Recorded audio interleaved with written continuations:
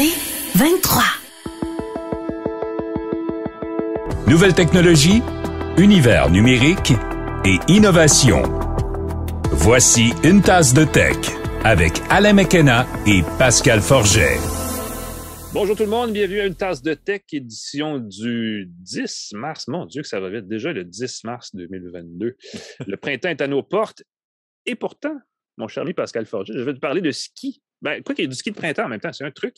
Euh, en fin d'émission, parce que j'ai reçu euh, avant Noël, puis ça n'a pas donné, puis la météo n'était pas de mon bord, des semelles de ski connecté d'une compagnie qui s'appelle Carve, C-A-R-V. On sait en anglais, Carve, c'est une façon de dire on fait du ski, on, on carve. ça se dit pas Oh! euh, des semelles connectées, donc qui s'insèrent dans la botte de ski, n'est-ce pas, et qui te donnent, à partir de 72 points de, de pression répartis sur les deux semelles, des conseils de comment faire du ski comme un pro.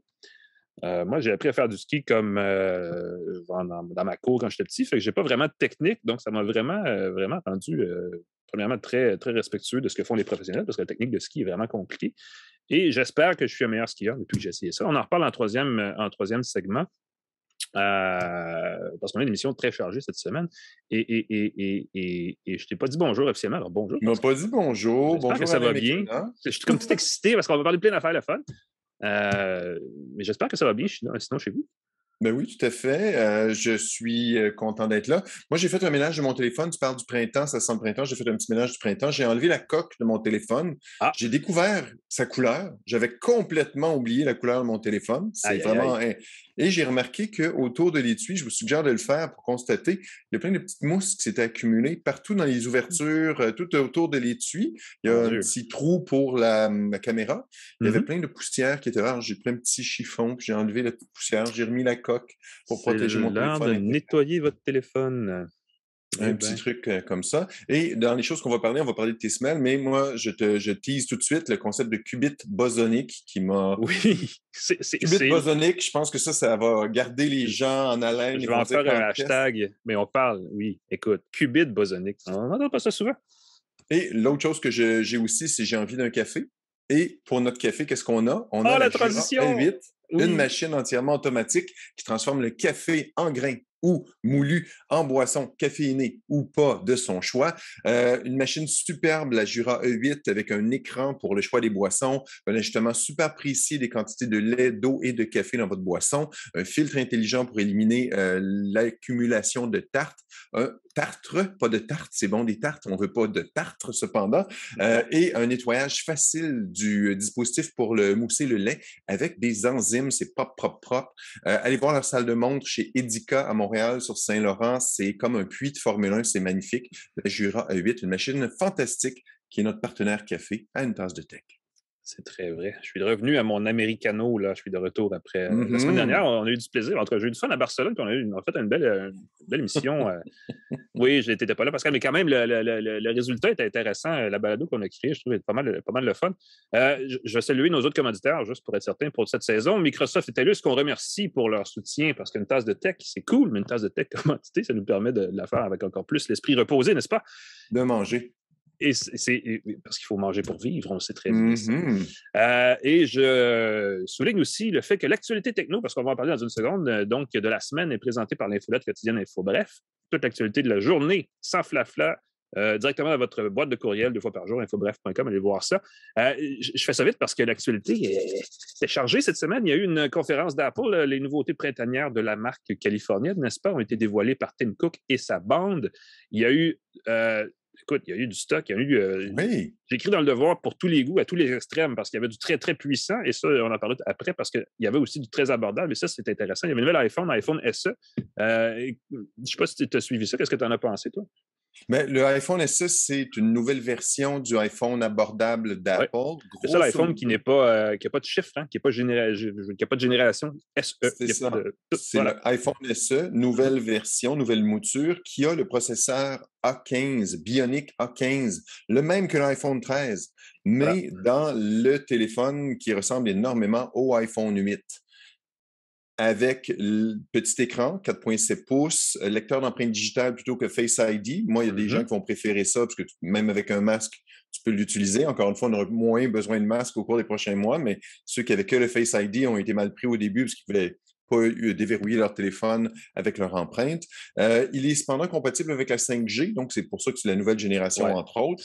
Et il n'est pas cher. Même processeur que l'iPhone 13, mais il est à partir de 579 Mais mmh ce qui m'a surpris, c'est que c'est le modèle de base avec seulement 64 GB de stockage. Je trouve ça extrêmement triste parce que la plupart des gens vont passer au modèle à 649 qui a un 128 GB, qui est un peu plus respectable, ou encore 789 pour le modèle à 256 GB. Mais là, on approche du prix du iPhone 13. On approche du prix. Euh, on est ou d'un Android très haut de gamme quand même. On peut avoir un Pixel 6 Pro pour quoi 800 je pense. On n'est pas Exactement, avec plus mm-hmm. de stockage, avec euh, des mises à jour, un modèle haut de gamme, alors qu'on se le rappelle, l'iPhone SE, c'est un modèle d'entrée de gamme, disons-le. Il y a même beaucoup d'analyses, j'ai vu sur Internet, qui disaient que le iPhone 11, qui est offert un petit peu plus cher, je crois, est encore une meilleure option. Pour l'amateur ah de technologie, avec l'iPhone 11, on a une meilleure caméra, une autonomie légèrement supérieure même s'il ne sera pas supporté aussi longtemps par Apple, parce que le nouveau processeur risque d'être supporté comme les produits d'Apple pendant peut-être cinq ans. Mmh tandis que l'iPhone 11 a déjà deux ans, donc peut-être que d'ici trois ans, quatre ans, il va cesser d'être supporté au niveau des mises à jour.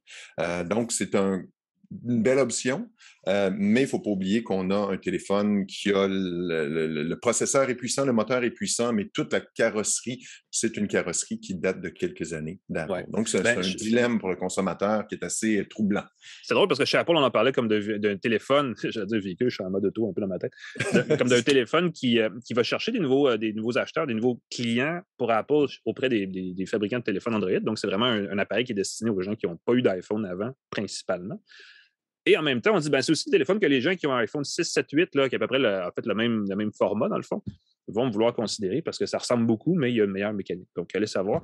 C'est surtout un iPhone à moitié prix et on le sait, l'iPhone, c'est la moitié du marché du mobile au Canada et à cause de ça, les fournisseurs sans fil vont probablement faire des forfaits à 0 pour cet iPhone-là, moyennant un amortissement dans le temps ensuite, mais qui va le rendre encore plus attrayant financièrement.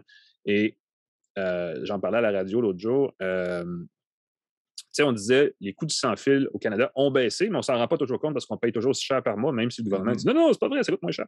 Ben, une des raisons pourquoi on paye plus cher, c'est parce que les téléphones, eux, coûtent plus cher. Donc, une façon de couper nos factures de sans-fil, c'est d'acheter un téléphone plus bon marché.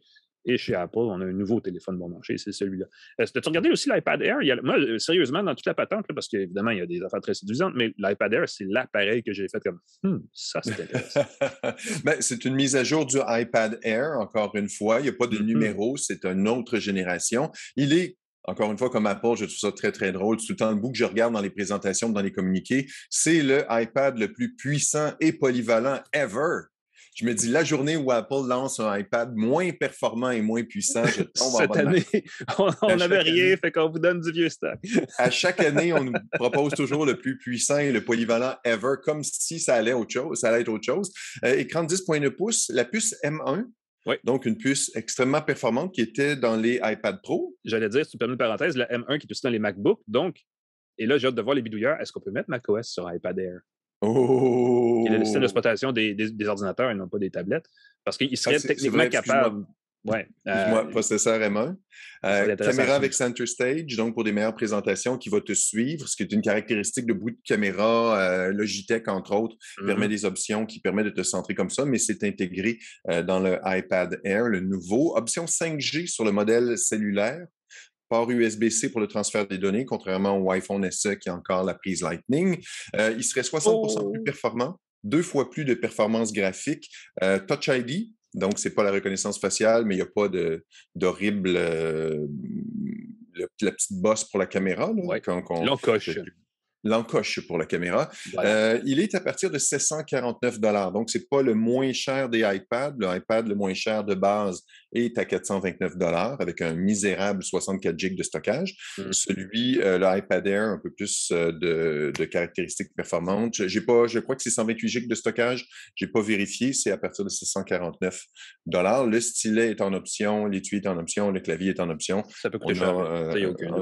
ouais. L'iPad peut se transformer en laptop très vite, mais ça va coûter sensiblement le prix d'un laptop. Ben, effectivement, euh, il y, a beaucoup d'applications euh, destinées au iPad qui, en font un excellent remplaçant au PC ou aux, bloc-notes, aux ordinateurs portables. Donc, c'est peut-être la façon de le considérer, mais ce n'est pas un iPad Pro. Donc, il est très, très puissant. Puis en même temps, je ne sais pas pourquoi l'iPad Pro serait une option pour les gens qui cherchent, parce que l'iPad Air, en version actuelle, il y a vraiment toute une, toute une mécanique. Euh, il y a toute une conversation à avoir sur Apple et pourquoi c'est le processeur M1 à bord de cet iPad-là et non pas le A15 ou le A16 ou peu importe laquelle euh, version de cet autre processeur-là? Et en gros, ce qu'il faut comprendre, c'est que le M1, c'est pour le center stage parce que ça permet des, interactions avec la caméra, des choses comme ça que l'autre processeur n'est pas capable de faire sans avoir très, très chaud au minimum. Mm-hmm. Donc, c'est un peu ça l'explication. Très bien. Je vais me permettre de rectifier tout de suite. J'ai discrètement googlé l'information. La capacité du iPad Air de base, je n'y crois pas, c'est 64 GB. Il va falloir payer un supplément pour avoir le modèle euh, supérieur à 256 GB si on veut un peu plus de stockage. Donc, c'est une un truc qu'Apple fait souvent, l'utilisation, il est 949 le modèle à 256 GB. Évidemment, avec 64 gigaoctets pour une, tablette qu'on présente comme quelque chose qui permet d'éditer des vidéos qu'on fait en 4K avec son téléphone iPhone 13. Ça arrive vite, 64 gigaoctets de vidéos 4K, je veux dire. Tout fait. Quelques jeux dans sa tablette, quelques vidéos qu'on filme en 4K, puis ben, bye bye le 64.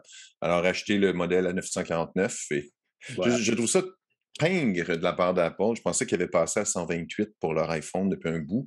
Je m'attendais à ce que ce soit la même chose. Je n'ai même pas vérifié. J'ai vérifié, je suis triste. Ah, écoute, effectivement, oui. Euh, je vais dire euh, plus ou moins malheureusement. Apple, c'est une formule qui fait mouche parce que les, gens les achètent et ils en vendent toujours plus. Donc, j'imagine qu'ils vont, ils font des études de marché et ils se rendent compte que c'est pas si les gens sont prêts à payer un petit peu plus cher. Moi, effectivement, je suis entièrement d'accord. Je me dis, je regrette la, disparition des, des fentes micro SD sur les téléphones parce que c'était un truc. La disparition des, petits boîtiers que tu enlevais puis tu aurais remplacé la batterie après deux ans qui était comme à peu près inutile. Qui permettait d'appareiller. D'ailleurs, on va en parler bientôt. On va recevoir des gens de mobile clinique. bon Dieu, que je suis en train de faire complètement d'autres choses dans ma conversation. Qui, eux, permettent de remplacer et échanger un téléphone usagé. On va parler de, cette, de ce, fameux cycle de l'obsolescence qu'on peut briser si on y fait moindrement attention. Cela dit, pour les gens qui ont un budget infini et illimité, oui il existe aussi l'option du nouveau Mac Studio qui, été, euh, était en fait la troisième affaire présentée par Apple euh, mardi euh, de cette semaine. Écoute, ils ont inventé un tout nouveau processeur pour cet appareil-là. C'est, on attendait un petit peu plus ou moins un nouveau Mac Mini qui était un appareil. Vous savez, le Mac Mini, c'est l'ordinateur autonome de bureau qui se branche dans un moniteur, dans un clavier, et ainsi de suite qui est pas même plus gros que, que, que, mettons, une boîte à sandwich. Une ah, boîte à sandwich, un, un, pour sandwich. Voilà. Il y avait la référence des boîtes à pain avant, mais là, il y a la boîte à sandwich. C'est vraiment, je pense, au Tupperware. un gros plat Ziploc. Là. Bon, mais l'équivalent de ça, mais là, on n'a pas eu ça. On a eu l'autre extrême, mais un petit peu plus gros, peut-être pas entre une boîte à sandwich et une boîte à pain. Probablement, finalement, on peut dire ça comme ça. Je pense qu'il fait une vingtaine de centimètres de, de, de, côté. Euh, donc, très, très, très, très rectangulaire, très cubiste, disons-le comme ça.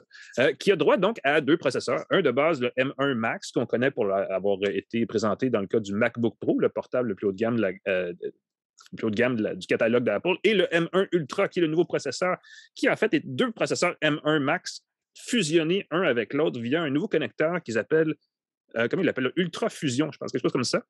Qui... Duct tape. Ils ont collé avec du duct tape. Chez Apple, on ne dit pas duct tape, on dit ultra tape. en tout cas, on dit d'autres choses. Mais, mais, euh, en tout cas, on dit qu'il y a vraiment une, une, bande passante de 2,5 téraoctets par seconde de données. Donc, il n'y a pas un mm-hmm. gros frein là d'échange d'informations entre les deux processeurs. Ce sont des euh, systèmes on a chip hein, en anglais, SOC, donc en français, il doit y avoir un terme, mais je ne sais pas c'est quoi. C'est vraiment une puce, euh, système sur puce. En fait, c'est que toute la patente est mm-hmm. intégrée. Il y a la carte graphique, euh, il y a la, mémoire vive, tout ça dans le même bidule. Et ce que ça permet, c'est d'avoir jusqu'à 128 gigaoctets de mémoire mémoire vive, mais mémoire vive vidéo, de mémoire tout usage, en fait, intégrée au, processeur et ça accélère beaucoup le traitement des, de l'information. Et c'est pour ça qu'on dit chez Apple, évidemment que c'est le plus rapide, le, processeur le plus rapide jamais fait par Apple, mais c'est aussi un appareil qui se démarque très, très bien par rapport à tout ce qui a été le fait de plus performant. Euh, vous savez, Apple a abandonné Intel il y a à peu près deux ans parce que justement, ils trouvaient que le, développement ne se faisait pas assez rapidement. Et quand on parle aux ingénieurs chez Apple de ce qu'ils font et de ce qu'ils voient par rapport à ça, c'est fou. Eux, leur objectif, c'est de faire le M1 Max, qui était le processeur le plus puissant ce jour. Et ils se sont dit, mais non, mais non, on, a, huit clients qui en veulent encore plus. Et pour eux, ils ont fait essentiellement le Mac Studio à processeur M1 Ultra. Et ils savent très bien chez Apple qu'il n'y a pas grand monde qui va se l'acheter parce qu'il est très cher. Il démarre oh. euh, à, 3, à 2500 pour le M1 Max et à 5000 avec le M1 Ultra. Et là, on n'a pas encore de périphérique, on n'a pas le moniteur. Ils ont présenté aussi le moniteur qui va avec, le Mac Studio Display qui fait 27 pouces, qui n'est pas beaucoup parce qu'on a des moniteurs 32, 34, 36, 38 pouces euh, pour moins de 1000 de nos jours. Et eux, ils le font à 27 pouces et ils coûtent 2000 Donc, en partant, ça ne s'adresse pas à tout le monde. Euh, mais c'est un bel appareil et il va conjointement avec le Mac Studio. Et si vous voulez la patente la plus performante, vous mettez tout ça ensemble, vous en avez pour 8000 dollars au bas mot, donc c'est quand même pas rien. Euh, mais euh, bref, je vais juste revenir, finir la fiche technique du, Mac Studio parce que mon cerveau éclate quand je, quand je, quand je pense. Mm-hmm. on dit qu'il est quatre fois plus rapide que le iMac 27 pouces à 10 cœurs, le plus performant actuellement dans le catalogue, 12 fois plus rapide en traitement vidéo que n'importe quel PC que vous pouvez imaginer avoir chez vous. Euh, peut, faire, peut afficher à l'écran sans aucun effort jusqu'à 18 flux vidéo en direct, 8K ProRes. C'est genre la patente vidéo la plus compliquée que vous ne pouvez pas avoir. Et il en met 18 côte à côte, puis il chauffe même pas la fan parce qu'il y a un ventilateur dedans à part même pas. C'est vraiment n'importe quoi. Euh, là, je tiens à spécifier, Alain, que c'est 18 flux vidéo, 18 flux vidéo 8K. 8, 8K ProRes. Non, non, exactement. Puis c'est pas, pas du faux 8K. Le ProRes, c'est genre l'affaire qui prend plus de place que, que nécessaire pour pas de raison. Euh, trois ports USB-C, bon, deux ports USB 3, euh, une connexion Thunderbolt 4, qui, qui, une autre affaire, ça aussi. bref, c'est de la grosse quincaillerie. Et pour aller avec ça, le display, l'affichage, donc le moniteur de 27 pouces, lui, il vient avec six haut-parleurs, trois micros, une caméra qui euh, utilise aussi euh, la fonction Center Stage parce qu'ils ont intégré une puce, un processeur à leur moniteur. Pourquoi pas, n'est-ce pas? Euh, ça justifie le coup un peu. Ben, ça justifie le coup. C'est ce qui permet d'avoir Center Stage dans la caméra parce que le traitement se fait dans le moniteur et non pas dans la caméra du moniteur et non pas dans l'ordinateur. Donc, on peut juste brancher et ça se fait tout seul.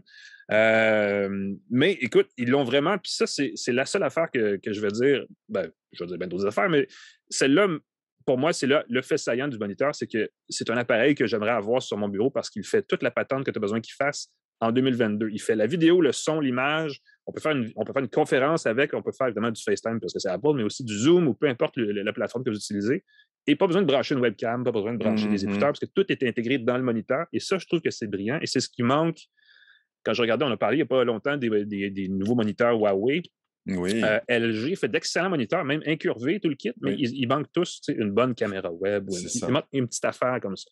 Et là, Apple vient de le faire. et pour ça, ça, c'est du positif. Pour le trou dans votre budget, c'est une autre conversation à avoir. Mais euh, c'était quand même une. Écoute, on, verra dans les prochains jours si on a l'occasion de, les essayer, tous ces appareils-là, mais on aura l'occasion d'y revenir parce que ça fait beaucoup de matériel. Très, très curieux. Et il n'y avait pas juste Apple cette semaine comme nouveauté. Ben, c'est ça, il n'y a pas ça, mais juste avant, pour le moniteur euh, studio, il va pouvoir fonctionner sur des euh, PC les ordinateurs ben Windows. Ben oui, parce que la fonction Center Stage ne fonctionnera pas, malheureusement. C'est ce genre de trucs, l'écosystème d'Apple qui est assez fermé. Et oui, tu as tout à fait raison pour euh, des trucs de Google. On voulait faire changement un peu. On sait que quand on parle d'Apple, tout le monde s'emballe. Mais du côté de Google, il y a un article que j'ai lu qui m'a impressionné. Il disait que Google a fait l'acquisition de quatre entreprises dans les 15 derniers mois qui semblent avoir une logique. Je t'explique les entreprises, puis tu me dis aussi que ça s'en va peut-être. Ils ont euh, fait l'achat de Synaptics, qui a des brevets pour des écouteurs stéréo balancés, qui conçoit des puces pour les écouteurs. Une compagnie qui s'appelle Dysonics, qui fait des logiciels et du matériel pour de l'audio spatialisé 3D.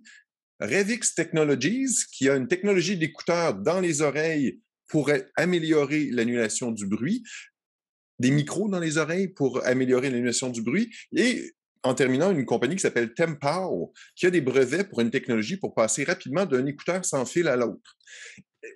Il y a quelque chose, je pense, qu'Apple pense, travaille. Un système de son pour leur voiture. Système de son?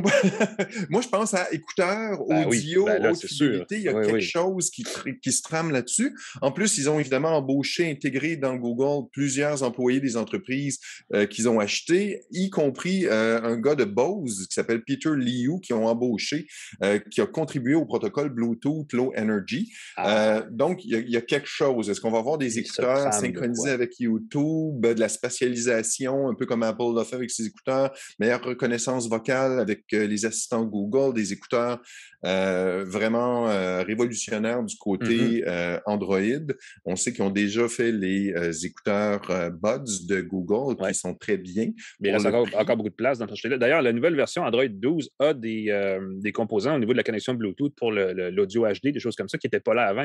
il y a comme peut-être un éveil, effectivement, sur la, qualité du son qui peut être produite. Là. Fait que je, je pense qu'il y a quelque chose qui s'en vient de Google et j'ai bien bien hâte parce que leur matériel, quand ils le font et qu'ils le supportent un bout de temps, ça fait des belles, choses. On voit ce qu'ils ont fait avec le Pixel 6. Mm-hmm. Euh, très, très belle machine. S'ils peuvent arriver avec un écouteur de cette euh, qualité-là, ça pourrait concurrencer les AirPods et compagnie ou donner un petit, euh, secouer le marché. effectivement. Je vais rapidement rajouter une dernière actu et je vais le faire super vite parce qu'on en a parlé euh, il, y a, quelques semaines avec un invité de l'Institut de recherche en, économie contemporaine sur la question de l'argent investi en intelligence artificielle au Québec. Est-ce que ça vaut la peine ou pas? Et son, lui, son étude disait bah, tu sais, on a peut-être un peu raté une partie de l'affaire parce qu'à la fin de la journée, toute la propriété intellectuelle créée dans ce créneau-là ne nous appartient plus tellement ou pas aussi en aussi grande quantité qu'on l'aurait souhaité. Cette semaine, il y a euh, le Forum IA Québec qui a euh, publié une étude qui a été commanditée auprès de PricewaterhouseCoopers, qu'on appelle maintenant PwC, parce que des lettres, c'est pas mal plus cool que des mots, et euh, une firme qui s'appelle je veux dire tortoise, en anglais c'est Tortoise. Ils ont, eux, ils, sont, ils font un, en anglais ce qu'ils appellent un Global AI Ranking, donc un palmarès des, euh, mondial des, des, des, écosystèmes d'intelligence artificielle, pour euh, justement une étude qui dit où est la place du Québec dans l'intelligence artificielle mondiale, est-ce qu'elle est, est, qu'elle est bonne, moins bonne, pas bonne, et ils ont présenté ça un peu en contre-coup de l'étude dont nous, on a parlé il y a quelques semaines en disant non, non, c'est super bon ce qu'on a fait, c'est très positif. Euh, hmm. Il s'est créé en 2021 seulement 225 startups au Québec en intelligence artificielle. Euh, ce secteur-là, depuis le début, là, depuis l'investissement en 2016 initial dans ce créneau-là euh, par le gouvernement, a généré 3000 emplois. 3000 emplois, il n'y a pas de S à 1000, donc 3000 emplois directs au Québec, plus un paquet d'emplois indirects autour de ça. On a depuis 2017 décroché 32 solides gros brevets au Québec en intelligence artificielle.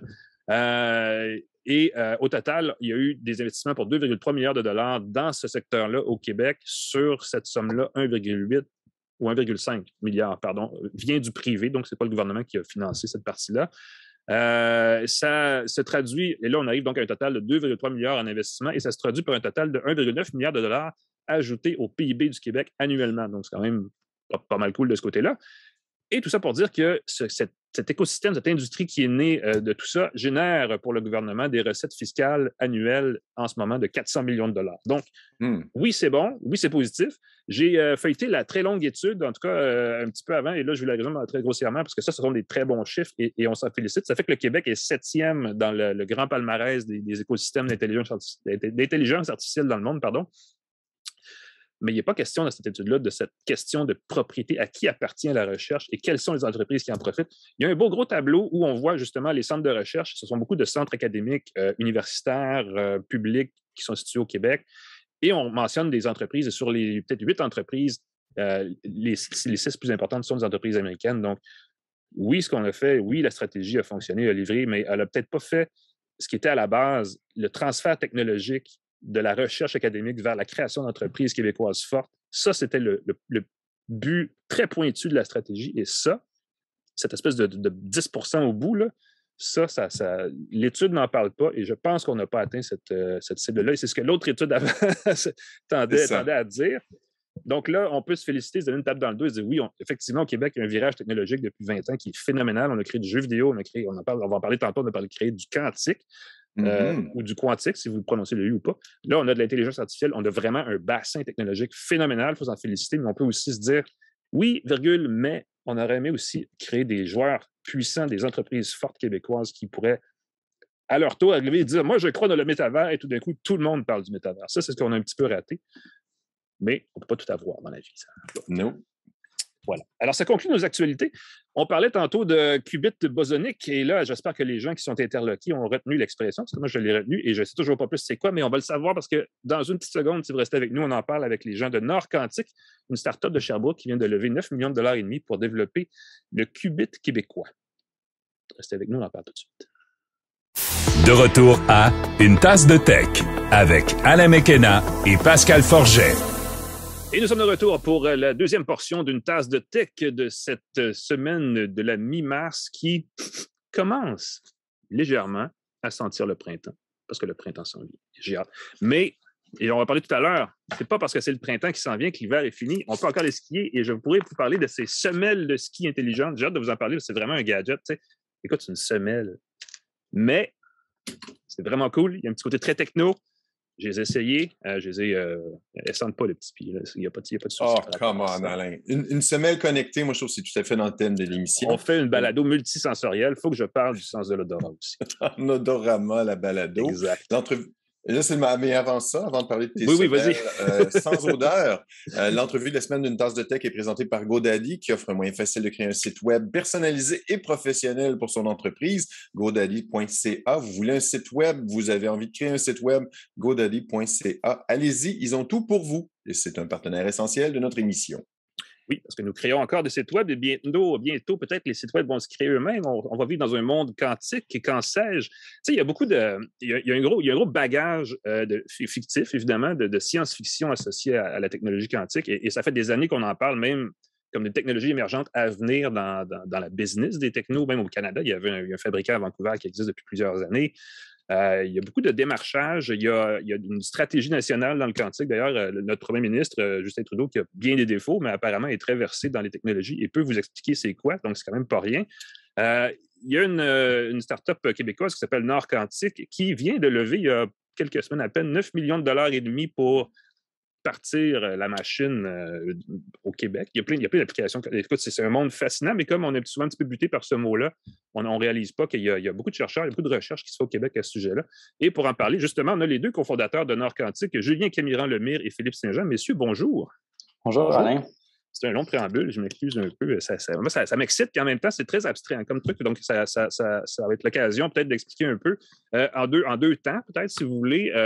premièrement, Nord Quantique, je dirais tout simplement qui êtes-vous? Parlez-nous un peu de ce que vous faites et euh, de comment concrètement l'informatique quantique existe et est actuellement quelque chose qui se fait au Québec. Julien, tu veux aller ou... Euh? oui, j'aurais pu. Euh, go pour Julien.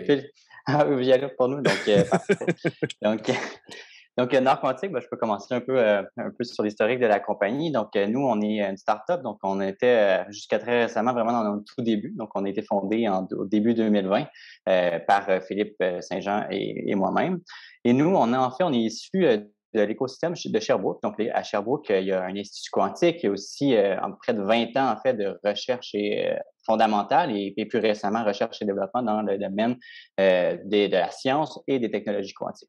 Et nous, euh, en 2020, ce qui s'est passé, c'est qu'on a, euh, on a, on a monté la compagnie basée sur des découvertes récentes qui s'étaient faites euh, à l'Institut quantique, puis aussi sur toute la science qui se fait ici.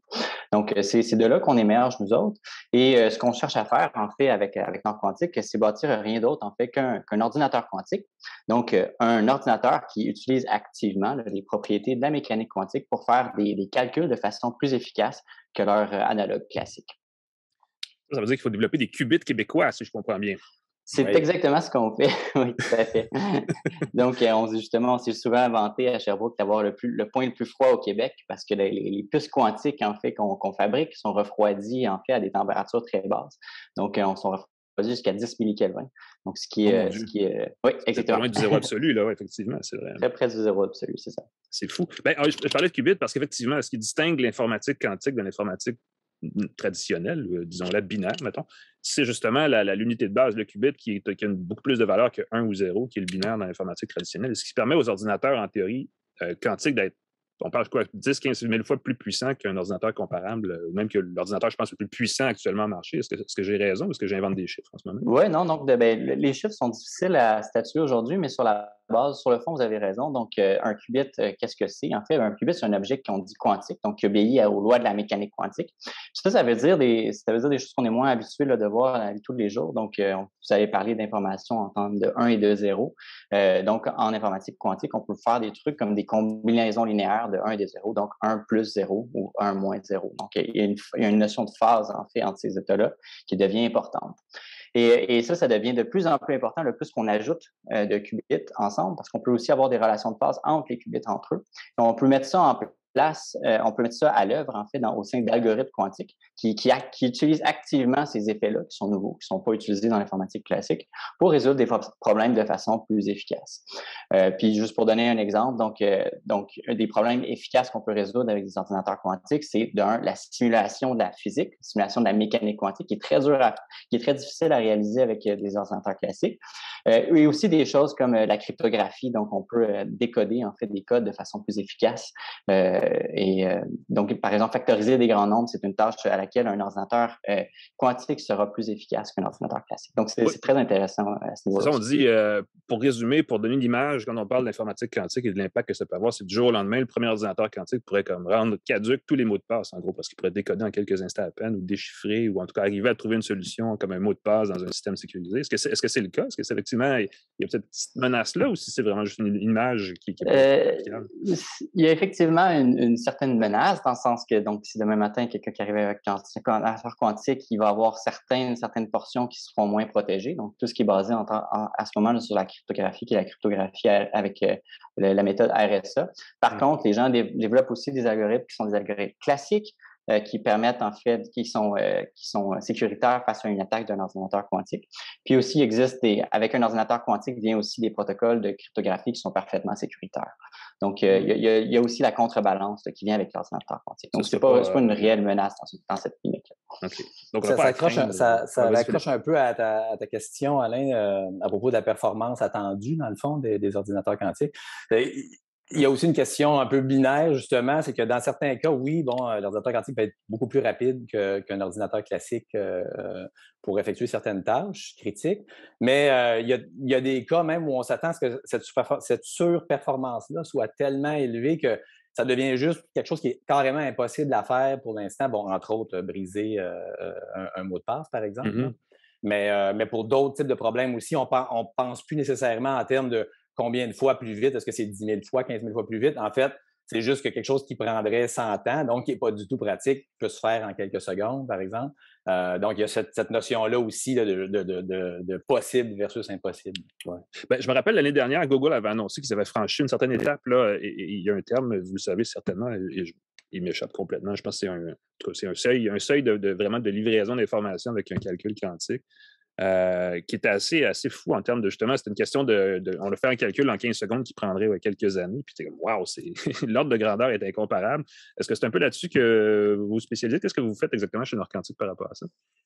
Euh, oui, donc à terme, donc c'est notre souhait en fait chez Nord Quantique de développer des ordinateurs quantiques qui vont avoir un avantage quantique, donc qui vont être en mesure de résoudre des calculs plus rapidement que même les supercalculateurs euh, donc les, les, HPC qu'on peut trouver là, sur le marché aujourd'hui. C'était c'était un peu l'exploit de Google que tu mentionnes précédemment. Donc, atteinte de démontrer un problème qui a un réel avantage quantique à ce niveau-là.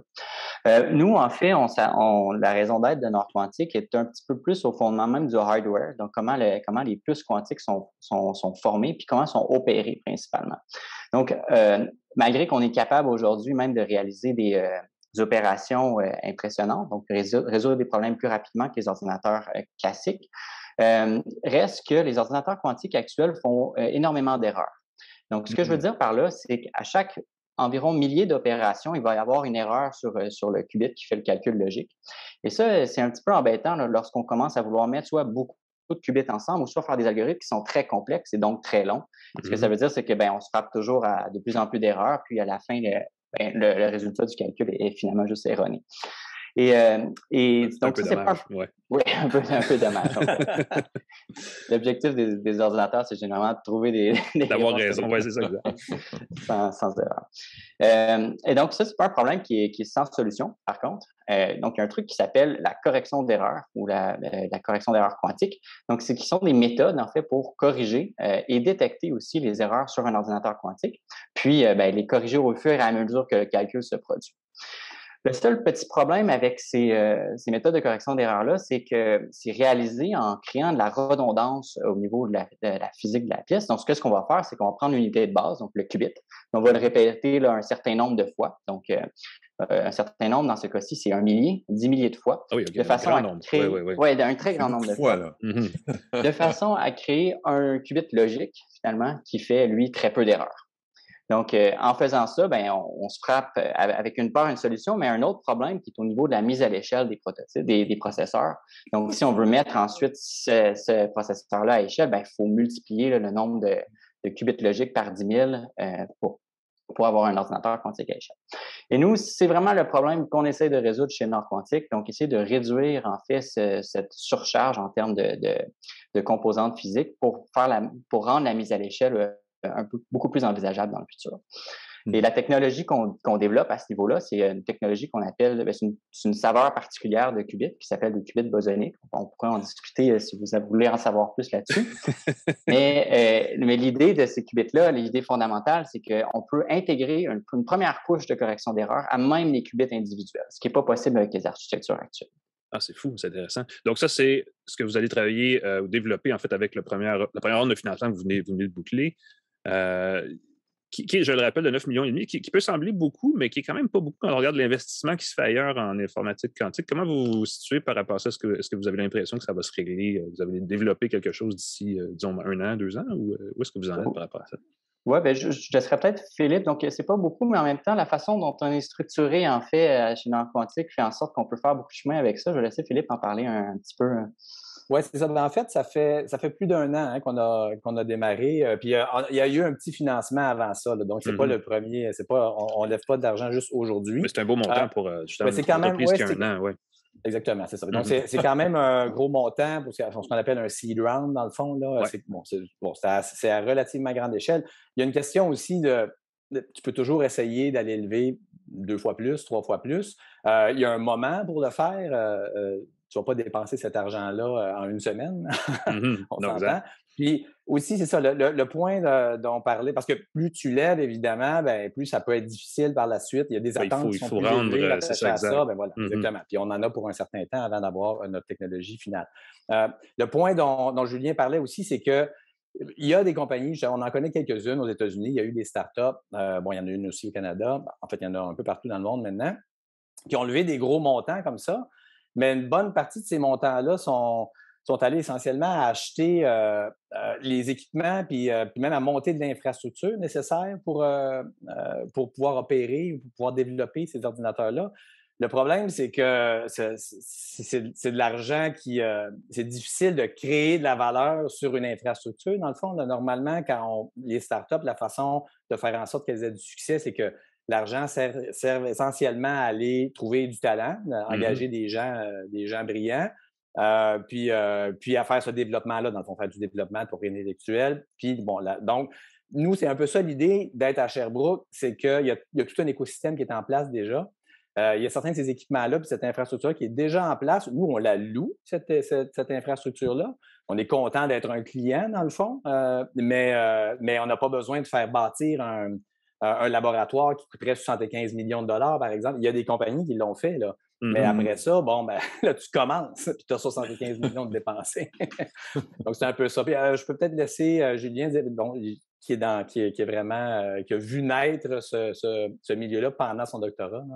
Ah, je pense que c'est tout à fait, ben, c'est un, milieu, euh, Sherbrooke, qui est assez distinctif pour ça. Puis nous, ben, le 9,5 millions, euh, comme Philippe le mentionnait, va être principalement utilisé à, ben, oui, oui, croître la technologie, faire des démonstrations de plus en plus convaincantes des propriétés de correction d'erreurs de nos, de nos puces, comme je le mentionnais tout à l'heure. Euh, par contre, une chose qu'on n'a pas à faire, c'est ça, c'est grandir l'écosystème de la compagnie parce que nous, on est situé dans le fond dans ce qu'on appelle la chaîne d'innovation intégrée, euh, qui est constituée en fait euh, d'un parc d'innovation qui a trois pôles majeurs, trois centres en fait de, de recherche et développement majeurs. Donc, il y a l'Institut quantique que j'ai mentionné précédemment. Et c'est là où nous, par exemple, on va faire euh, le développement de nos puces quantiques, la caractérisation, euh, puis aussi les démonstrations qu'on cherche à faire avec notre technologie. Mais aussi, il y a euh, à l'Université de Sherbrooke un, autre pôle qui s'appelle le 3IT, là où on peut faire la nano, la microfabrication de nos puces qui vont être ensuite caractérisées à l'Institut quantique. Et finalement, donc, il y a, il y a tout l'écosystème de Bromont aussi en micro, micro-nanofabrication, dont le C2MI, qui est un mm-hmm. centre de recherche et développement industriel. Et pour nous, ce que ça veut dire aussi, c'est pas simplement pour la production, mais c'est aussi pour la qualité des puces qu'on va être en mesure de fabriquer euh, à terme. Et c'est l'écosystème qu'on cherche à lever. Et c'est aussi pour ça que ben on a un peu besoin de moins de financement à notre étape que, certaines autres compagnies pour réaliser essentiellement les mêmes choses. Oui, c'est ben, effectivement, je ne voulais pas dire que vous n'avez pas beaucoup d'argent. Au contraire, c'est une, une, belle somme. Ça vous permet de passer à l'étape suivante. C'est toujours ça, les cycles de développement des startups. Euh, et, comme tu le dis, effectivement, Sherbrooke, c'est un pôle dans le quantique, mais dans la technologie aussi. Puis Bromont, c'en est un autre. C'est le fun parce qu'ils ne sont pas très loin l'un de l'autre. Mm-hmm. Euh, et il se passe de quoi de ce côté-là? Et quand on parle, j'ai suivi le, le, quantique depuis un petit bout de temps, ce qui se fait au Canada puis au Québec, euh, notamment, notamment à travers la, stratégie nationale et, tout le reste. Puis il y a toujours cette espèce de oui, mais il faut se dépêcher, puis il faut investir plus et toujours plus, parce qu'aux États-Unis, ils investissent plus, en Allemagne, ils investissent plus, en Chine, ils investissent plus. Et cette conversation-là, on a la même dans la, monnaie numérique, on a la même dans l'automobile ou dans peu importe les sujets, à, savoir vaguement technologiques. On a l'impression qu'on est pratiquement. il y a une concurrence vive par pays pour être le leader dans ces créneaux-là. Euh, euh, on est où au Canada par rapport à ça en termes de quantique? Est-ce qu'on est, est, est un gros joueur? Puis est-ce que c'est important d'être un gros joueur aussi? L'important, c'est d'avoir quand même notre propre industrie, puis à partir de là, on est correct. Je vais commencer la réponse au niveau euh, plus technologique. Je vais laisser Philippe euh, répondre au niveau des sommes d'argent. Mm-hmm. euh, donc, pour, au niveau technologique, en fait, le Canada, faut, ce qu'il faut savoir, c'est qu'on est un des pionniers, en fait, dans le développement des, de l'informatique quantique puis des technologies de l'information quantique en général. Donc, les, les, principales découvertes, en fait, qui touchent d'abord aux premiers algorithmes, en fait, quantiques qui ont, qui, ont, un peu démocratisé le domaine puis mentionné l'importance au niveau du calcul et de la communication pour le, futur. En fait, c'est des chercheurs ici, des chercheurs québécois. Donc, entre autres, Gilles Barassard à Montréal qui a fait des, des, des avancées importantes dans ce domaine-là. Euh, et, euh, et, également, donc, euh, ici à Sherbrooke aussi, donc au niveau des qubits supraconducteurs, qui est l'architecture la plus poursuivie là, au niveau industriel pour réaliser un ordinateur quantique à échelle. Euh, ben, un des inventeurs de la technologie de base de ça, ben, c'est, c'est un Cherbouquois qui est situé ici même à Sherbrooke, Alexandre. Donc, au niveau scientifique, on a des bases extrêmement solides. On est très compétitif aussi au niveau de la science que fait ces technologies-là. Et je dirais que même au niveau du développement d'affaires, donc tu l'as mentionné au début de l'émission, Alain, donc, il y a une compagnie euh, au Canada donc, qui s'appelle D-Wave, qui est la mm-hmm. première, essentiellement la première compagnie d'informatique quantique au monde. Donc, à ce niveau-là, on a aussi là, un bon pôle de développement. Et ce que le Canada essaie de faire en ce moment, ben, c'est d'utiliser tout ce savoir, euh, ce savoir-là et ce savoir-faire-là, autant au niveau de la science, mais aussi du développement de, de compagnies en quantique, puis de, de, de mettre l'argent nécessaire, en fait, pour euh, faire croître les écosystèmes là, existants comme celui de Sherbrooke. Parle-nous d'argent, Philippe. C'est ton. Ouais, c'est ça. je prendre la balle au bon. Ben, en fait, euh, au Canada, on se débrouille quand même assez bien. Je dirais, bon, si on recule il y a quelques années, on, se débrouillait très bien. Comme Julien l'a mentionné, D-Wave, c'est la première compagnie qui a. Ils ont levé au-delà de 200 millions euh, à ce jour. Euh, ils ont. Bon, ils, ils ont fait aussi le premier ordinateur quantique commercial ou quelque chose comme ça. Oui, c'est ça. On peut. là, là, c'est un bel historique. C'est ça, exactement. Il y, a, il y a des gens qui vont dire Ah, c'est un type d'ordinateur très spécifique. Bon, ça, on ne rentrera pas dans ce débat-là. Euh, mais oui, donc on a, il y a eu euh, beaucoup de développement commercial de, l'informatique quantique qui s'est fait essentiellement au Canada au début. Euh, puis la recherche aussi, au niveau de la recherche, Julien en a parlé, on est très fort, on a plusieurs pôles importants de recherche en milieu académique, dans le fond, au Canada, qui sont bien financés aussi. On mm-hmm. s'est fait un peu rattraper dans les dernières années. justement, il y a eu, il y a eu des, des, financements majeurs de certaines compagnies aux États-Unis, euh, on en voit aussi maintenant en Europe, euh, en Angleterre, en Australie. Euh, le Japon commence à émerger aussi. Donc, il y a eu, un, je pense un peu en réaction à ça que, à la fois au niveau fédéral et provincial, les, gens réalisent qu'il y, y, a beaucoup d'argent investi en recherche au, Canada. peut-être peut-être qu'il n'y a, pas assez de compagnies qui émergent. Mm-hmm. Il y a un autre exemple à Toronto, une compagnie intéressante qui s'appelle Xanadu, ils ont levé 100 millions l'année dernière. Donc, c'est une compagnie qui est, pas, qui est assez récente, il y a 4 ou 5 ans.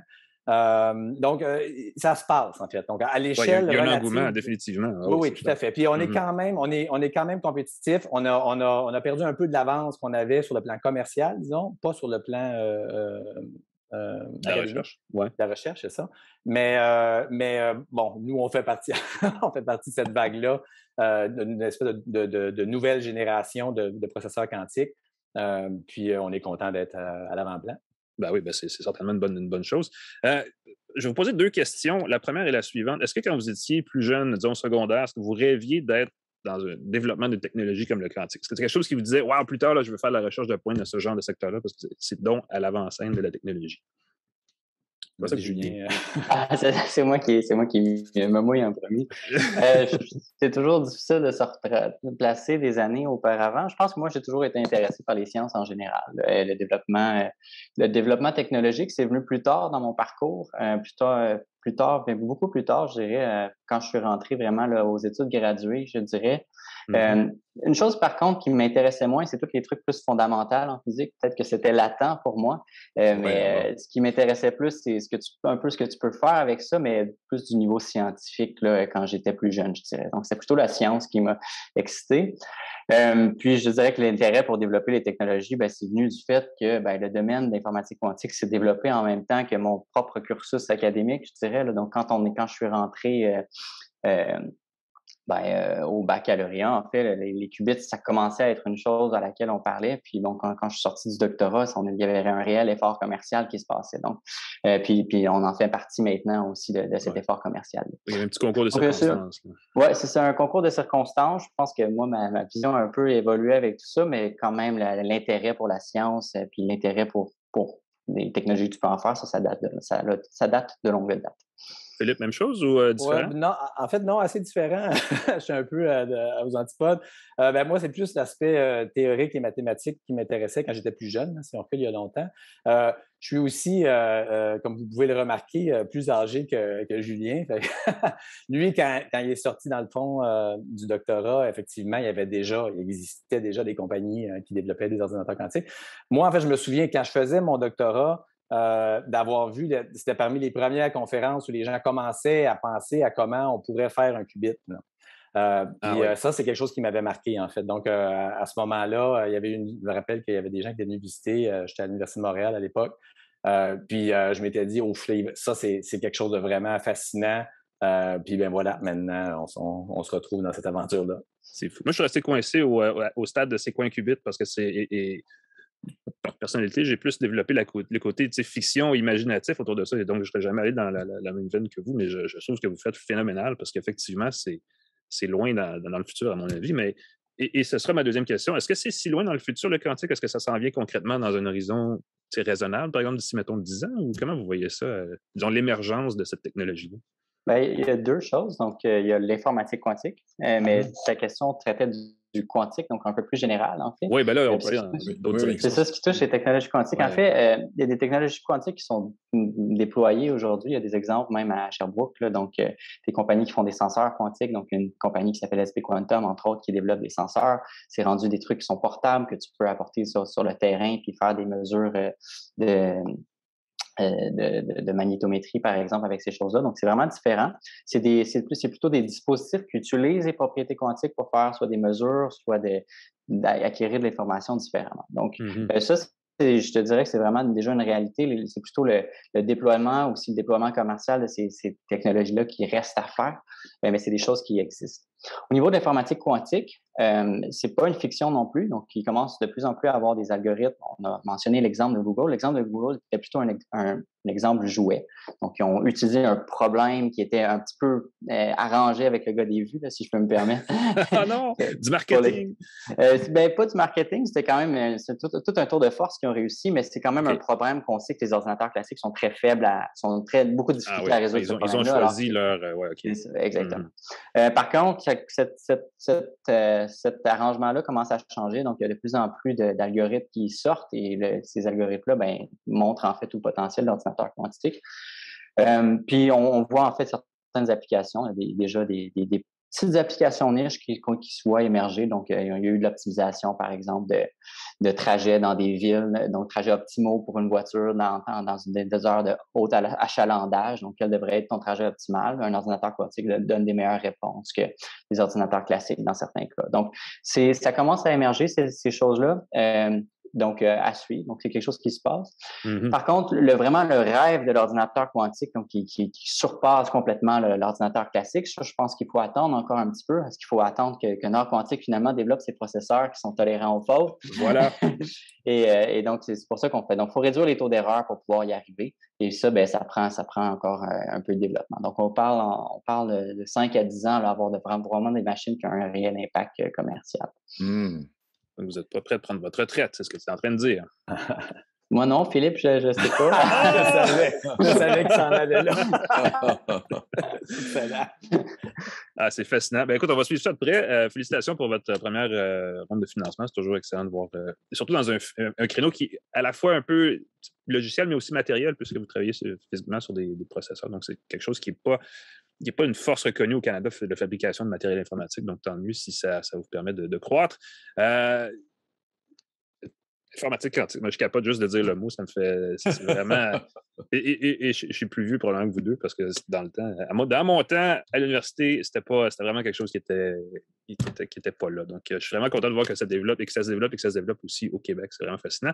Euh, Julien Camiran Lemire et Philippe Saint-Jean de Nord Quantique, merci d'avoir été avec nous. C'est super intéressant. Et s'il y a quoi que ce soit, vous nous faites signe, on fera un suivi euh, définitivement sur cette technologie d'avenir qu'est le quantique. Merci beaucoup, Alain. Merci beaucoup. Merci. Merci à vous. Ciao. Nous, on prend une très courte pause et on revient avec euh, mes semelles de ski connectés. On change complètement de registre. La zone du cerveau contactée, elle n'est pas la même, mais c'est intéressant quand même. Restez avec nous. De retour à Une tasse de tech avec Alain Mekena et Pascal Forget. De retour pour la fin, la conclusion, la finale de cet épisode d'une tasse de tech. Je vous rappelle rapidement, nous sommes sur le site du 985fm.ca. Si vous cherchez nos, euh, archives, euh, barre oblique balado, vous nous trouvez là une tasse de tech aux côtés d'excellentes autres balados comme euh, La Poche Bleue, Mm-hmm. où ça tient la route, que je co-anime également et que, avec que j'ai beaucoup de plaisir à faire euh, elle aussi. Euh, nous sommes aussi sur les plateformes de balado, n'est-ce pas? Euh, Apple Balado, Google Balado, tout le monde finit par Balado. Spotify, Deezer, toute la gang, on est tous, nous sommes tous, nous sommes là. Abonnez-vous. c'est la meilleure façon de nous suivre, de nous écouter et de savourer toute l'information riche on dit qu'on en a du stock quand on, file tous les épisodes, on réécoute les épisodes qu'on a fait. Donc, allez nous voir, allez nous écouter, allez nous, nous cliquer, nous abonner, vous abonner à nous en fait, à ce qu'on fait à notre contenu. On est aussi sur YouTube, youtube.com une tasse de tech et sur Facebook, facebook.com une tasse de tech. Pouvez aller voir aussi ce qu'on fait. C'est excellent. Euh, rapidement, Pascal, parce que, mon Dieu, que l'épisode de, file vite. Euh, on a des gadgets pas mal de fun. Moi, je vais parler de ski, mais avant, toi, tu nous parles d'une compagnie chinoise qu'on n'entend pas assez souvent parler de ZTE. Exactement. Je pensais même plus qu'ils étaient actifs au Canada. ZTE, une compagnie qui mm-hmm. avait fait quelques téléphones assez intéressants. Je ne sais pas si tu t'en souviens, il y a quelques années. Windows euh, Phone. ils m'ont envoyé une tablette une alternative au iPad. Et je me disais, oh, une alternative au iPad, ça pourrait faire changement, ça pourrait être le fun. Du côté Android, ça manque. Elle est tout de suite moins chère. Je vous dis tout de suite, c'est une tablette qui coûte 264 dollars canadiens. Donc, en partant, c'est moitié prix du iPad euh, de base. Est-ce que c'est le iPad de base? Pas du tout. On s'entend, c'est une autre type de tablette. C'est basé sur Android, Android 11. Au départ, il y a 32 gigaoctets de stockage. Je vais être très honnête, je trouve que c'est très peu pour une tablette en 2022, encore moins qu'Apple avec le iPad. encore moins? Ah oui, non, non, mais je, suis dur avec tout le monde. C'est pas mm-hmm. juste euh, Apple. Les gens disent, ah, tu tapes sur la tête d'Apple. Non, non. La tablette, euh, elle est jolie. C'est une tablette de 10,3 pouces de diagonale. Euh, il y a un affichage FHD+, donc c'est plus que HD. C'est 2220 pixels par 1080 pixels, donc un peu plus qu'HD. Batterie de 5250 mAh. 32 GB de stockage, qui est très peu, mais on peut l'augmenter avec une puce micro SD, une carte micro SD si on le désire. Oui. C'est très chouette. Et en ouvrant l'appareil pour mettre une puce micro SD, je me suis rendu compte que la connexion cellulaire était intégrée dedans. Ah, Donc, l'option, si on veut, on peut utiliser une SIM dedans. Mm-hmm. L'appareil est vendu par TELUS. J'ai essayé avec une puce d'un autre fournisseur. Malheureusement, elle a, elle a, été reconnue. Donc, on détectait la puce, mais j'ai pas pu faire de connexion cellulaire. Je me demande si avec du bidouillage, on peut le faire ou si c'est verrouillé à TELUS. C'est vendu d'ailleurs par TELUS. J'ai tenté de trouver sur le site de ZTE, ça nous pointe directement sur TELUS, qui est d'ailleurs notre partenaire, on les remercie. Euh, donc, on peut à ce moment-là acheter la tablette à 264 dollars payable par versement. J'imagine ah. qu'on peut combiner, si on a un forfait chez TELUS, combiner pour une, petit, une petite somme, euh, avoir une puce supplémentaire pour sa tablette et là, pouvoir se connecter. Je présume que euh, c'est une tablette Android, ça, j'imagine. C'est une tablette Android basée sur Android 11. Donc, est-ce qu'elle va être supportée longtemps? Euh, est-ce qu'on s'attend à ce que ça va être supporté un an, deux ans, trois ans? Combien de versions d'Android? Déjà, c'est Android 12 qui est sur beaucoup d'appareils, si je ne m'abuse. Donc, c'est déjà un petit peu... c'est pas la version la plus récente d'Android qui est dessus. Probablement qu'on va avoir Android 12. Est-ce qu'on va avoir 13, 14? Point d'interrogation. Donc, c'est une alternative. C'est pas une mauvaise alternative. Encore une fois, Android, on sait que c'est pas l'idéal sur les tablettes. Les iPads ont quand même une longueur d'avance euh, au niveau de la qualité de l'écran, d'image, euh, euh, du son, de la performance, de l'optimisation avec la nouvelle puce. Ça, fait vraiment mal. Mais mm-hmm. si on veut une alternative qui fonctionne très bien pour une navigation de base, consulter la presse plus ou le devoir. Merci. Ben oui. Parlons du devoir. le devoir. le devoir. c'est pas besoin d'application. directement sur le site web. ça peut faire très, très bien l'affaire et économiser beaucoup de sous. Et la connexion cellulaire intégrée, dans l'auto, c'est une option vraiment très, très chouette pour naviguer. Les enfants dans l'auto pourraient se connecter euh, de façon cellulaire. Encore une fois, faites attention avec euh, votre forfait de données. Ah oui, ben là, si vous partagez en plus par euh, le point d'accès de votre cellulaire. Et, c'est effectivement, ZTE, c'est une, marque moins connue ici, mais qui est très, très connue, évidemment, en Asie, une marque chinoise. et, ce sont des tablettes qui se comparent. En tout cas, au niveau des téléphones, les tablettes, je ne sais pas, au niveau des téléphones, ça se compare à ce que fait Samsung, mais à des coûts mmh moindres. Donc, ça peut être effectivement une, chose à considérer si vous cherchez une tablette qui n'a pas, pas besoin d'être un iPad, en fait. Voilà. C'est ça, c'est tout à fait. Puis à moitié prix, euh, ça fait très, très bien le travail. très légère en plus, donc ça a l'air très portant. Ça fait très bien. Toi, tu vas nous parler de ce qui. Parle-nous de tes semelles connectées. J'ai ça, ça dans, mon, dans mon bureau depuis euh, Noël, des semelles en espèce de carton rigide. Euh, et si vous écoutez bien attentivement, vous voyez, là, je frotte euh, la semelle. Je l'ai dans les mains. L'attouchement de semelle, mesdames et messieurs, cette semaine, une tasse de tech. C'est une compagnie qui s'appelle Carve, C-A-R-V, qui, en fait, le site web, c'est getcarve.com. Donc, allez chercher votre Carve. Euh, ils font des semelles pour des bottes de ski. C'est très spécifique, mais c'est le bon temps. C'est le ski de printemps qui s'en vient et ça peut vous intéresser d'essayer ça. Ce sont des semelles qu'on insère dans la, bottine euh, et qui remplacent la semelle déjà présente dans, le, dans la doublure. Euh, on en, extrait un petit câble qu'on branche sur euh, une batterie. Et là, vous, l'entendez parce qu'il y, a, un petit, euh, il y a une pincette en métal. J'y vais avec le, multisensoriel, je l'ai dit. Sonorama. Exact. Qui se pince sur l'attachement de la botte et qui va donc à l'extérieur de la botte et qui euh, anime les, anime, parler, les semelles qui en ont pour, trois jours d'autonomie. Donc, vous pouvez skier, partir dans, les rocheuses, par exemple, pendant trois jours et revenir et la botte, entre la bottine et la semelle, vont, vont fonctionner vont se jumeler en fait à votre téléphone via Bluetooth à euh, l'application mobile du même nom, Curve. Euh, la semelle fait 3 mm d'épaisseur, donc on ne la sent pas sous le pied, mais elle est quand même dotée de 72 capteurs de pression et de mouvement. C'est beaucoup, là. Un téléphone en a genre 6, je pense. c'est quand même pas rien. Euh, et elle envoie donc le résultat de ces, de ces, de ces capteurs-là, de ce qu'ils en pensent, de ce qu'ils découvrent à votre téléphone. Quand on, la première fois qu'on porte la chose, il faut lever le pied. Là, la, semelle se calibre, va dire voici notre, point zéro de pression, et ensuite on dépose le pied au sol, et là, elle fait les, calculs. Euh, elle, peut détecter, ou en tout cas le téléphone, à partir des données, euh, peut détecter euh, où vous en êtes dans votre ski. Donc, est-ce que vous êtes en train de dévaler la piste? Est-ce que vous êtes dans une pause en milieu de piste? Est-ce que vous êtes dans le remont de pente? L'application est assez brillante, assez sur quelle station, dans quelle montagne vous vous trouvez. Je suis allé l'essayer au Massif dans Charlevoix, à côté de la petite rivière Saint-François. Et effectivement, euh, c'était, elle l'a reconnu, elle savait même le nom des, pistes sur lesquelles je me trouvais. Euh, c'était assez cool. Elle me donnait, euh, à la fin, elle fait un gros compte-rendu. Tu as skié tant de temps, tu as fait tel genre de vitesse de pointe, tu as fait tel genre de. Et à chaque fois qu'on embarque à peu près dans le remont de pente, ça dépend de l'attente évidemment, mais bref, quand on est en pause entre deux descentes, elle donne des conseils audio directement dans vos oreilles si vous avez des écouteurs branchés sur votre téléphone. Elle vous dit, par ah. exemple, moi, elle me disait, entre autres, euh, figure, imagine que quand tu fais un virage, c'est comme si tu étais sur des coquilles d'œufs et essaie de ne pas écraser les œufs pour justement prendre ça en douceur et que ça tourne plus naturellement. Euh, elle donne des conseils sur quel pied mettre, sur quel pied mettre plus de pression pour euh, rentrer ou sortir de virage plus rapidement. Plein de petits conseils comme ça, rendus très concrètement. Ce n'est pas juste des chiffres envoyés brutalement. Genre, voici nos, nos, données, voici vraiment, il y a une interprétation et ça fait l'équivalent d'un coach de ski numérique personnel en permanence. Et ça, c'est assez cool. Euh, j'ai vraiment trouvé l'expérience super intéressante parce que, bon, premièrement, en, ski libre, elle donne des conseils comme ça au cas par cas. Euh, et, elle encourage. Si on prend une pause en milieu de piste et qu'on repart, elle va vous le dire, elle va vous encourager, elle va dire Hey, bon, vas-y, t'es capable, mon champion. Et là, je vous dis ça en français comme c'était naturellement. Évidemment, l'application est en anglais, donc ça, c'est une mmh. grosse limite. Là. Euh, mais quand même, l'idée est bonne. Ceux que ça n'embête pas, il y a quelque chose d'intéressant là. Euh, donc, en ski libre, pendant qu'on skie, il y a de l'information. À la fin, on peut aussi avoir des, programmes, elle peut nous bâtir des programmes d'entraînement sur mesure pour devenir meilleur en ski la prochaine fois qu'on va aller à la station. Donc, il y a vraiment de l'entraînement hors piste, hors ski, hors neige, là, euh, qui, est, fourni. On peut vouloir faire du ski libre, on peut vouloir faire du ski compétition, on peut vouloir faire différents types de ski. On a des programmes euh, sur mesure fait pour, euh, pour vous. Donc, c'est vraiment, de ce point de vue-là, j'étais vraiment flabbergasté en bon français. Ça le fun. Ouais, je ne m'attendais pas à autant d'informations. Je pensais que ça allait être un petit gadget qu'on essaye, comme ah, puis on l'oublie tout le temps. Mais là, je suis comme tout d'un coup, je suis intéressé à l'utiliser en permanence parce qu'effectivement, l'information est riche. Et pour autant que je sache, parce que je ne suis pas un grand technicien de ski, mais pour autant que je sache, c'est vraiment de l'information extrêmement précise et pertinente qui peut vraiment améliorer la façon dont on skie. Euh, ils, en, ils, en, tirent ce qu'ils appellent un, ski IQ, donc un QI, un quotient intellectuel de ski, c'est un peu bizarre à traduire, mais euh, un indicateur sur 100, je pense, qui dit si tu es un bon skieur ou pas, mais en gros, qui dit est-ce que tu t'améliores ou pas, c'est surtout ça que tu veux savoir. Et ça fonctionne plutôt bien. Bref, Carve, j'étais vraiment surpris. Si vous voulez l'essayer, euh, ça vaut la peine. C'est, la, semelle est 149 et ça vient avec six mois d'abonnement gratuit parce qu'évidemment, le service fonctionne ensuite par abonnement. Et là, évidemment, la saison se termine. Donc, six mois à partir de maintenant, c'est le temps de faire une coupe de sortie. Puis là, c'est l'été. Mmh.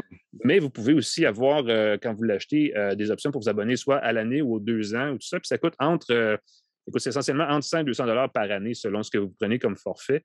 Mais ça vient, dans tous les cas, avec six mois gratuits. Donc, ça peut être maintenant pour l'essayer. Vous pouvez prendre des notes puis revenir l'année prochaine et l'acheter ou l'activer, en fait. L'essayer maintenant puis réactiver l'abonnement à la fin de l'année. Mais je vous dis, si vous avez le goût d'essayer quelque chose, il reste encore une coupe de bonnes fins de semaine de ski, surtout dans le Nord. Euh, j'étais vraiment impressionné. Je ne m'attendais pas à, autant de choses. Et, évidemment, la, saison a fait que j'ai fait du ski un peu tard et j'ai pu en parler seulement en fin de saison, mais j'aurais aimé ça vous en parler avant parce que c'est vraiment intéressant le concept. Donc, Scarf, des semelles connectées pour le ski qui, sérieusement, vont faire de vous un meilleur skieur. Oh, j'aime ça. J'aime le prix. Le prix d'entrée est abordable. Évidemment, c'est l'abonnement qui va le rendre un peu plus coûteux à l'usage. Mais ben, en même temps, si tu l'utilises c'est agréable, c'est moins cher que la journée de ski finalement une, journée, un cours de ski de, deux heures coûte à peu près ça. Donc, c'est pas. Euh, on, peut, on peut justifier facilement si on veut, être, s'améliorer en ski, l'abonnement mensuel sans problème. Puis de toute façon, on peut le désactiver pour six mois parce qu'ils ne vendent pas à l'année, ils vendent en coût de six mois, en tranche de six mois. Mmh. Imagine s'ils faisaient un forfait par sortie. Tu pourrais l'activer à ça, ça pourrait être intéressant. Ou tu achètes, des crédits. Par exemple, tu achètes 20 crédits, puis un crédit vaut pour un nombre de descentes X. Un certain nombre de descentes, ça pourrait être une option. Allez voir ça, getcarve.com pour ceux qui aiment faire du ski et qui aiment les choses connectées. Merci infiniment, les McKenna. Hein, on a fait ça les temps, on n'est pas pire de t'être sacrifié pour nous.